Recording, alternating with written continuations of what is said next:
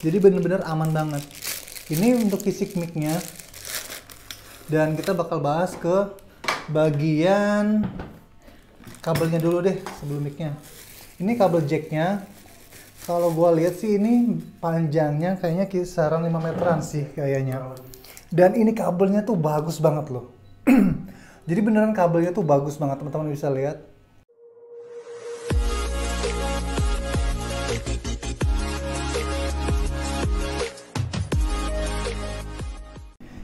Halo geng, kebosan-bosan gue mau ucapin banyak terima kasih buat teman-teman tanpa terkecuali di mana pun siapa pun. Video kali ini gue mau unboxing sekaligus mau mereview. Karena udah lama banget ya, gue nggak pernah unboxing alat baru atau mereview alat-alat baru. Tapi kemarin ada beberapa mic ya, yang belum sempat gue review. Cuman udah gue pakai. Ada Sennheiser, Sennheiser i900 series. Boleh pinjam nih mic-nya? Kalau misalnya teman-teman pengen tahu hasil dari mic ini mic dynamic ini yang terbaru ini buat gue pribadi ya. Hasilnya ada di Dallas Musik yang lagunya Anti-Q. Anti Q sama ini. Kemarin tuh rekaman apa? Lagu apa? Hujan dan kenangan. Jadi kemarin gue recordingnya pakai mic ini. Harganya berapa bang Dallas? Aduh alhamdulillah ya ini harganya 200.000 Teman-teman bisa cek di online. Ini harganya berapa di di online? 250, ada yang 250, beda-beda. Kalau Das Project jualnya 200. Jadi mereknya Sennheiser i900 series. Oke. Oh jangan dong, sebaru masih dilempar-lempar. Dan kali ini karena mic itu udah gua pakai dan teman-teman juga udah dengar hasilnya, terutama buat teman-teman yang ikut lomba cover ya. Udah ada di channel Das Musik dan sekarang gue mau review dan unboxing mic yang udah lama gue incer. Dan sekarang langsung aja ya kita langsung ke barangnya. Hmm. yuk kita bongkar rumah. Bukan bongkar rumah siapa ya acaranya tuh? Yang bedah rumah bedah rumah. Kalau gue uang kaget wah Oh iya Bang Kaget. Gua kaget ya. Jadi gua kali ini mau mereview dan unboxing, eh salah, unboxing dan mereview mic dynamic yang udah lama banget gue incer. Hmm. Mic Sur seri, nah serinya ini gue sebutin aja ya, SH835W atau SH835B. Nah ini yang ngebedain white sama black. Jadi ada dua series ya. Kalau W itu white, kalau B itu black. Oh gitu. Black, black, blacky. nah langsung aja ya. Kita langsung udah apa langsung bahas aja. Pertama teman-teman bisa lihat dari penampilannya aja. Ini tuh udah beda banget ya. Pertama kesan mahalnya dapat. Karena ini udah apa ya udah keren banget gitu loh jadi bener-bener ada gembok-gemboknya udah kayak koper kayak eh, koper kayak koper-koper yang bawa-bawa duit gitu loh. Ini ada kunci-kuncinya gitu. Ini dari segi ini ya packagingnya. Wah sih packaging gitu ya. dan langsung aja ini kita buka dulu. Oke. Ini rencana mau gua pakai juga. Karena teman-teman banyak yang minta bang mic-nya emang nggak ada yang lain serbeta aja. Ada seri kondenser cuman memang mic dynamic kita pakainya Samsung Samsung Q7 sama serbeta sekarang nambah juga SM uh, SM57 Balapan. SM58 ya. Berkurang ya? Nambah ya? Belum nah jadi ini kalau kita buka untuk kemasannya ini bener-bener keren banget ya. Uh. langsung aja kita buka ya. Jadi teman-teman cara bukanya gini. Nah. Nah terus teman-teman angkat. Eh, kebalik ya? Kayak gitu. Terus teman-teman angkat. Satu. Eh salah ini yang juga kok nyangkut sih di? Oke. Oh ini nyangkut. Gue dusun ya. Langsung aja lah ya. Nah jadi di sini gue pakai yang warna white. Keri jatuh ya. Nih.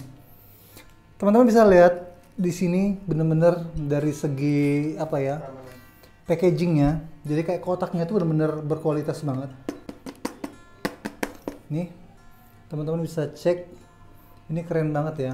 Terus ada busa-busanya juga. Ini apa ya? Buat mic teman-teman tuh nanti bakal apa ya? Terjaga gitu. Bakal lebih terjaga lagi. Karena kalau misalnya kayak gini kan apa mic yang kita taruh di sini resiko buat lecet tuh kayaknya nggak ada gitu loh. Jadi bener-bener aman banget. Ini untuk fisik micnya dan kita bakal bahas ke bagian kabelnya dulu deh sebelum micnya. Ini kabel jacknya.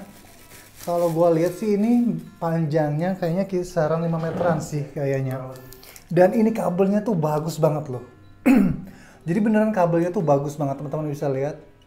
Memang beda sih kalau mic yang bagus itu kabelnya juga oke karena jujur aja mikrofon sebagus apa pun kalau kabelnya itu kurang bagus itu ngaruh banget teman-teman. Gue selalu bilang itu. Dan bisa teman-teman lihat XLR nya aja. Ini keren banget bener. Jadi bener-bener kayak yang kalau biasanya yang bawaan mixer beta nih biasanya ya. Ini itu goyang ini bener-bener kuat. Bener-bener kuat. Iya. Dan ini untuk bagian jack 6,5 nya bener-bener keren. Ini udah ada pernya. Jadi buat apa ya kalau misalnya kita tarik-tarikan gitu misalnya nggak sengaja ketarik-tarik ini bener-bener ngebantu juga ngehambat biar nggak patah atau apa. Kan karena kabel sering banget tuh kalau ketekuk-ketekuk gitu resikonya tuh nanti dia kayak uh, kabel itu ketekan alhasil kabel itu jadi makin sempit akhirnya putus kabelnya kayak gitu. Dan ini bisa lihat wih keren bener bener keren ini. Hmm. Ini kabelnya aja ya langsung kita buka karena nanti kita mau langsung cobain hasilnya. Gue juga ngejar waktu kalau bisa sebelum 10 menit udah kelar. Dan ini langsung aja ke mic-nya. Jadi mic-nya ini tuh mic-nya ini ada tempat jari-jarinya loh. Tuh 2, 3, 4, 5 kok 5 nggak 6 oh iya 5 tiga. Harusnya harusnya 4 aja udah cukup harusnya ya. Kan nanti gini satu dua tiga empat. Kalau jempol di sini mic-nya jatuh. Ya. Tapi ini keren sih. Jadi ini fleksibel ya. Karena memang teman-teman kalau nyanyi kalau nyanyi itu sebenarnya nggak bagus kalau mic-nya di sini. Kan biasanya ada syah." itu ini ini nggak nggak direkomendasikan nyanyi pakai kayak gini. Makanya kalau teman-teman perhatiin kayak MC atau apa pasti megangnya gini. Kebetulan gue juga dulu waktu sebelum YouTube gue itu kerja di perusahaan jadi sering bawa training segala macam. Jadi sering ngomong di depan kelas. Jadi emang bener bawa pembawaan itu kayak gini. Dan ini yang buat gue ngerasa terkesan beda banget. Ini mic yang teman-teman lihat mungkin kesannya kayak bengkok ya. Kayak bengkok bener nggak sih? Waktu gue pertama lihat, wih kok kayak bengkok? Ternyata memang benar. Di saat teman-teman jarinya di sini nah ini tuh mic itu langsung condong ke bawah gitu. Jadi langsung ngarahnya tuh ke mulut. Jadi nggak harus kayak gini banget. Ini dibikin kesan nyaman dengan posisi tangan kita. Per- pergelangan tangan ya. Nggak terlalu nekuk nggak terlalu apa. Lurus saja. Ini mic tuh udah langsung ngarah ke kita gitu loh. Jadi posisi nyaman banget gitu. Langsung aja kita cek bagian detailnya. Di sini teman-teman bisa lihat XLR-nya ini bener-bener bodinya tuh beda dari biasa boleh di. Bahkan yang mic kemarin baru gua beli aja ketebalannya tuh beda banget loh. Ketebalannya beda banget ya. Di sini menggambarkan kalau mic ini bahannya tuh lebih berbobot gitu. Dan untuk eh, bagian tuningnya bukan tuning sih lebih tepatnya apa? Switch. Switch on off nya di sini teman-teman bisa cek. Jadi ini terbuat dari plastik sih terbuat dari plastik. Rata-rata sih memang dari plastik. Kalau misalnya rata-rata bukan plastik misalnya besi atau apa pasti itu bakal mempengaruhi audio. Buh kok jadi terang banget. Bakal mempengaruhi audio. Makanya rata-rata switch on itu pasti bakal plastik. Kalau misalnya dia besi biasanya nanti dia jadi kayak menghantar daya kayak gitu. Makanya memang yang bagus plastik. Cuman kalau bisa plastiknya yang berkualitas ya. Kalau ini sih gue lihat keras sih. Bahannya keras ini kamera kadang terang kadang gelap nih oke terus kita langsung bongkar bagian dalamnya ya oke kayak memang harus lebih lama ya karena gue pengen ngejelasin ini sekaligus detail nah ini yang gue bilang mic-nya tuh bengkok loh oke jadi ini posisi lurus ya. Ini posisi lurus, mic-nya itu miring ke sono. Bener gak sih? Tuh. Mic-nya tuh miring tuh. Ini bukan kesan gua yang megangnya miring, enggak. No. Hmm. Tuh, mic-nya bengkok ya kan. Jadi dengan posisi jari itu jari jempol, jari jempol tuh udah posisi on off-nya di sini, dan ini jari-jarinya tuh udah pas banget di telapak. Nih tuh. Jadi teman-teman nyanyi itu ini posisinya udah bengkok ke bawah gitu loh, ya kan? Ini yang bedain. Terus ini sih keren banget, bener deh. Jadi ini tuh nggak kayak kayak nggak nangkap sebelah kanan kiri. Jadi bener-bener fokus ke depan. Jadi ini mic ini cocok banget kayaknya buat teman-teman nyanyi atau ngonten nyanyi atau ngonten yang lingkungannya berisik. Jadi teman-teman bisa pakai ini. Nanti gua bakal coba deh ngonten di dalam ruangan. Sekarang langsung aja kita tes. Ini pakai soundcard V8 dulu. Kita mau tes hasil audio kayak gimana. Kalau dipakai soundcard V8 yang kita jual, oke? Langsung aja kita cus ke videonya.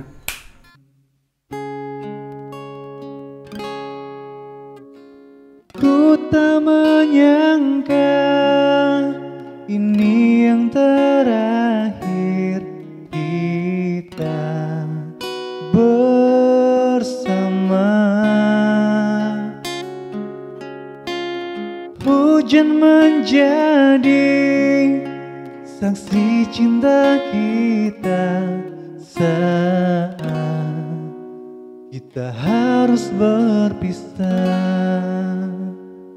Nah, jadi ini hasil audio dari mixer SH835W. Dan menurut gue pribadi, ini suaranya walaupun mic dynamic, tapi suaranya itu hampir mirip-mirip sama AKG D5. Kalau gue inget-inget ya suaranya, karakternya hampir sama loh. Jadi walaupun kategorinya mic dynamic, tapi dia ini agak sensitif. Nih terutama di Jadi dengan gue ini kecil banget nih padahal mbak. Jadi kayak bisa hujan menjadi saksi cinta kita. Tuh jadi kayak bah, bah. Jadi kalau misalnya nyanyi, kalau misalnya yang menggebu-gebu, itu suaranya bakal bep, bep, bep, bep, gitu. Jadi ini walaupun mic dynamic harus kayak kontrol. Mungkin caranya teman-teman kalau bisa nyanyinya jangan posisinya nempel di mic kayak gitu kan biasanya ada tuh orang yang nyanyi harus nempel. Ini kayak memang, memang harus berjarak. Ini gue sekitar jaraknya kita harus 3 sentian deh, cek. Lebih enak gitu.